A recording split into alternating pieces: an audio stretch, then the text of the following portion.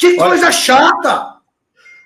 Quando o Saulo perdeu o gol, tava 11 contra 11, um jogo equilibrado, de poucas oportunidades, aí não se pode perder um gol daquele jeito, cara. Um jogo difícil, né? Até porque o Amazonas jogando em casa, ele ali, ele tem uma, tava com a invencibilidade e tá com a invencibilidade grande ali dentro, tem uma, uma campanha muito boa. O time canta de galo lá no seu terreiro, né? E o Ceará com aquele futebolzinho do primeiro tempo, tudo bem. Não viu a bola no primeiro tempo. Inclusive o nosso lateral, meu irmão, ele viu aquele Serafim, vai sonhar com o Serafim, viu? O que ele fez com o nosso lateral? Rafael. No segundo tempo, o nosso treinador conseguiu corrigir aquilo ali, colocou uma marcação dobrada, porque o Rafael Ramos estava levando muita bola ali, um contra um. O é muito bom jogador. É, a gente tem, equilibrou e como a gente tinha necessidade de partir, porque estava com resultado negativo, a gente começou a rondar a área do Amazonas, né? Mas sem muita, uh, sem muitas oportunidades, raras.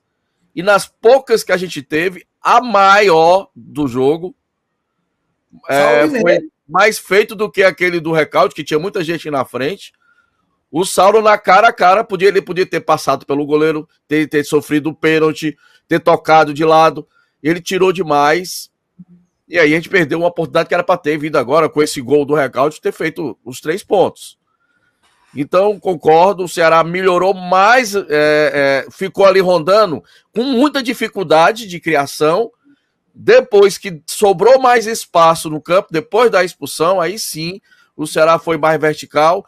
Aí depois teve a substituição, né? o Ceará caiu um pouco, mas tentando usar as pontas com o Lucas Ian, que para mim, na minha opinião, entrou bem. O Lucas entrou bem uma boa partida. Carlinhos, vale ressaltar que o Ceará, com um jogador a mais, ele não consegue tocar a bola. Se você tocar a bola, sempre vai sobrar mais um.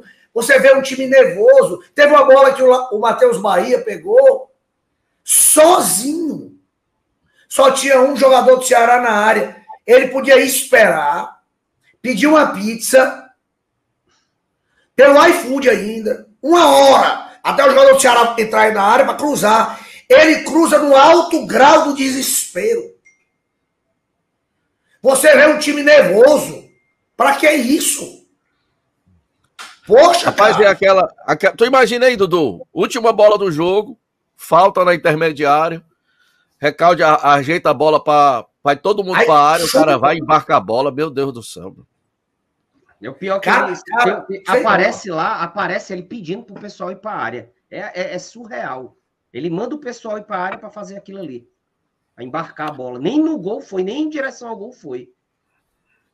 É, o que falta é, mesmo é qualidade, né, cara? Falta muita qualidade é... no elenco do Ceará, cara.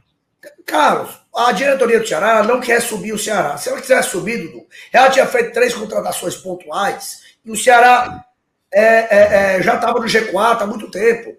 Nós vamos ficar nessa pândega aí o campeonato todinho. Ah, hoje dá.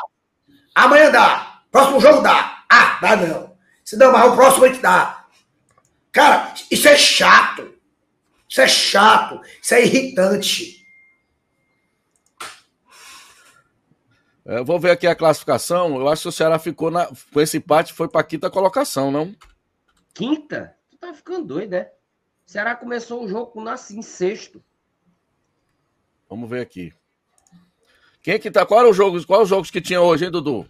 Peraí, eu tô botando aqui na tabela.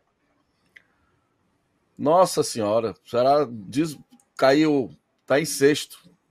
Falei. Ah, o Havaí tá, tá com 37. Eu pensei que o Havaí tivesse com 36, oh, cara.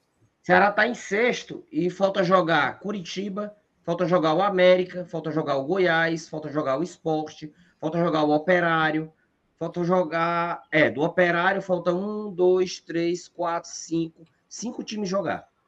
Desses é, vai cinco, cair. Joga quando, Dudu? Desses cinco. Desses cinco aqui, todos podem passar o Ceará.